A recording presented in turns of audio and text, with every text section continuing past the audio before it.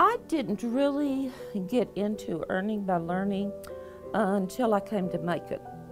I had a type of reading system in my classroom before when I taught at another school, but I had to do the prizes, I had to make the levels of the book. It was really very difficult.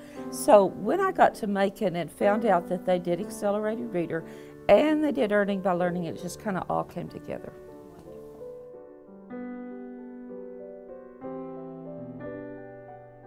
Well, one of the things that all teachers struggle with, whether they're teaching with younger children or older uh, students, is some finish quickly and some don't. So, you know the old saying, idle hands are the devil's workshop? Uh, you have to have something for the kids to do. And if it's just busy work, you put a burden on yourself. So, earning by learning, working with a reading program, is something they always have something to do, and they're eager to do it. Once they get the taste of success of going to a computer, taking a test, making a hundred on it, moving up a reading level, gradually getting prizes that are supplied by earning by learning. Uh, frankly, it becomes a bit of a problem because that's all they want to do is read. But that's a nice problem to have.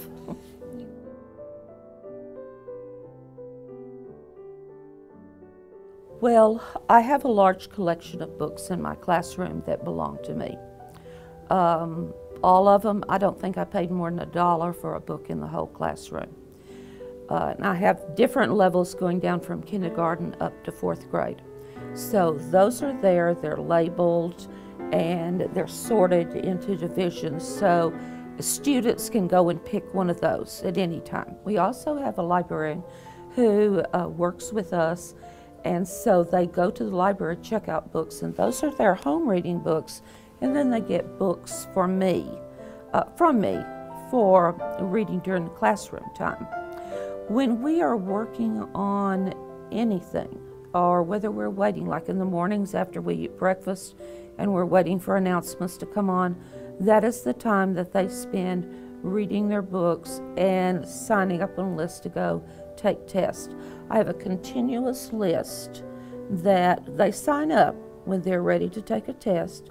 They fill out their own folder. They put the date, they put the name of the book, they put the reading level, and then after they go to the computer and take the test, they put their score, and then I sign off on it. That's one way I keep track of it. So once they think they're ready, they sign. I will look over if they're still finishing their math or working on that. I will skip them, but then come back to them. And if you're ready, your folder's filled out, then you get to go take a book. I have scrounged, and I do mean scrounged, four computers in the classroom. So that's very helpful because I can have four students taking tests at a time. And, and we just continually do this all day long.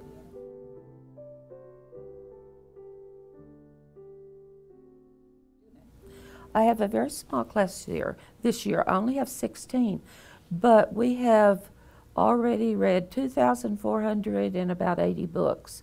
So we're going to hit 3,000 this year.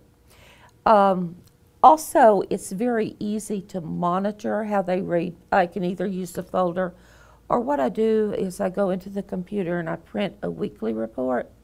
It gives me their average, tells me how many books they've read, it gives me their level, and so I can say, Johan, you only read one book last week. I require everyone to read two to three books a week. You need to take a test today.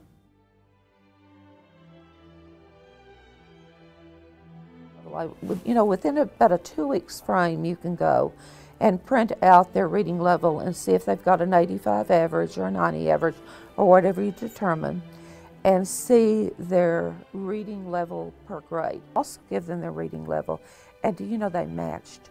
Every child matched. Every child had increased by at least a grade level. These are second graders. You can't make them do anything. you can pay them a dollar a day for the rest of their life.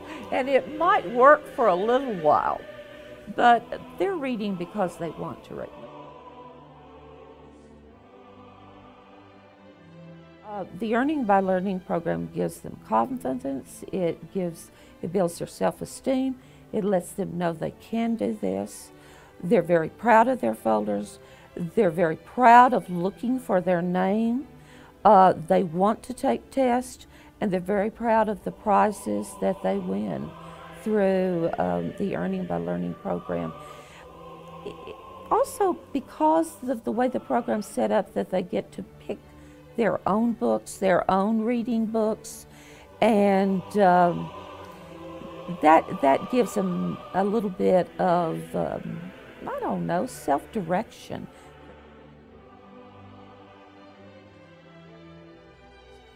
We test toward the end of the year in second grade. We use ITBS. Um, like I said before, I know that their reading level is increased. My children, knock on wood, have always done well on ITBS. We want them to make an 80, a 90, a 100. If they're not scoring that over several books, there's several things I can do. One, I can require that they read the books more times. The other, I can have them take an oral test with me before they take a test on the computer.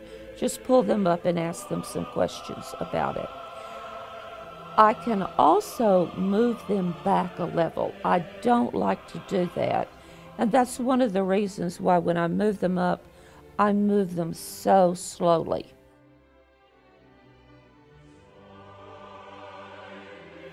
Well, my thoughts are if it works, do it. Isn't that what life is? Is we all work toward some self-satisfying incentive. Something has to get us up in the morning and make us go, whether it's to put food on our plate or whether it's to feel Im important and worthwhile in a job. Um, these are second graders. Do you know how competitive they are?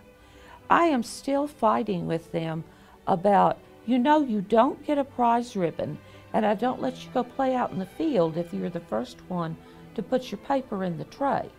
They, they still have this competitiveness. And so giving them an incentive to read just works right into their natural personality. The children I work with don't have the easiest life. Um, by getting them to read, we open up doors and worlds to them that they don't know about.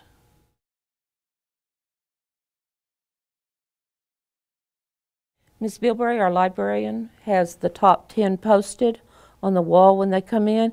When the children bring their parents in, they point out their name on that list. The other thing I do is when I send the report cards home for the six weeks, I go back at the beginning of the six weeks, and then the day the six weeks ends, and I print out a report of the books that they have read.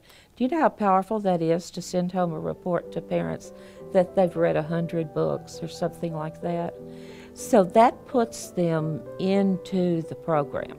And whenever a parent comes up, you know, I always make that part of what I'm talking about. He's, I'll say he's doing really well with his accelerated reader, or I'll say he's not reading enough books. He needs to read at least two or three. Uh, some children that were doing poorly on it at the beginning of the year, when I talked to their parents, uh, they started reading to the parent at home. I saw that increase. So, yes, I, I have one mother who does not know English. She only knows Spanish, but her child is bilingual. She still makes her daughter read to her in English because she wants to hear her read. So yes, they're very they're a very integral part of this program.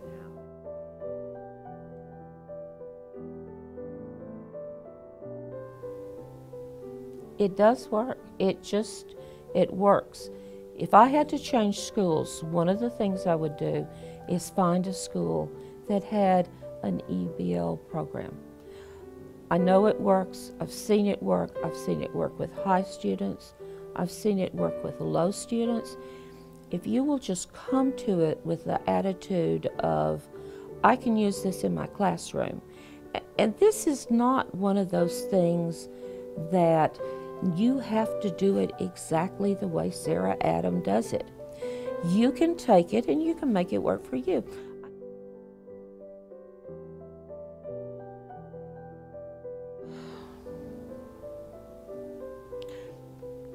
I came from a little bitty town in East Texas.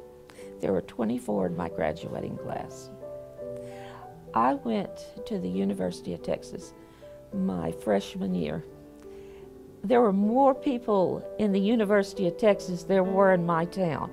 But you know what? It opened up this world to me. Just going to college and having that experience, it changed me and I took courses about things, astronomy and and culture and folklore and things like that that had always interested me. That's what I want for my kids. I want them to be interested in life. I want them to never stop learning. I want them to know that there's a future. Good heavens, at my age, I got a master's degree four years ago.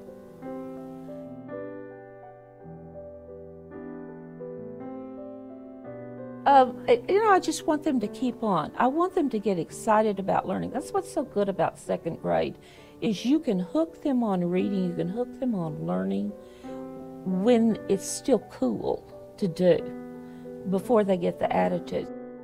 Reading is the foundation of whatever you're going to do in life. I mean, there's all different parts of reading. There's fluency, how well you read, and all of this, all these different types of parts.